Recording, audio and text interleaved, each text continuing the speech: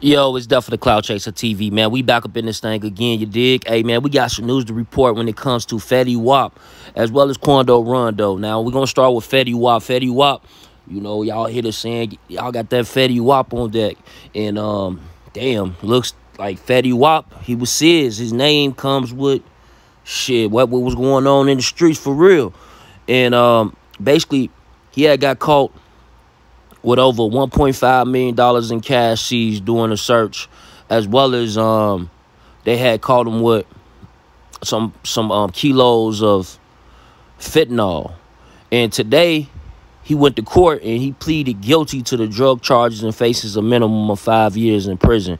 So that was 500 grams, actually, of um, cocaine as well, you know, um, laced with fentanyl. So y'all get in the comments and let me know what y'all think, man. Fetty Wap He's on his way to jail. Um, he's going to be gone for anywhere between five years and under. You know, it's a minimum of five years. So, you know, y'all y'all get in the comments. Let me know what y'all think.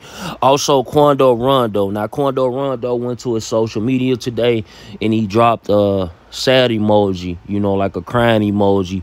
Just letting everybody know, you know, I guess he's still grieving from the situation that took place over the weekend in uh, Beverly Hills where he was shot at and his friend was shot and killed. You know, and that's um Lul Pablo, man.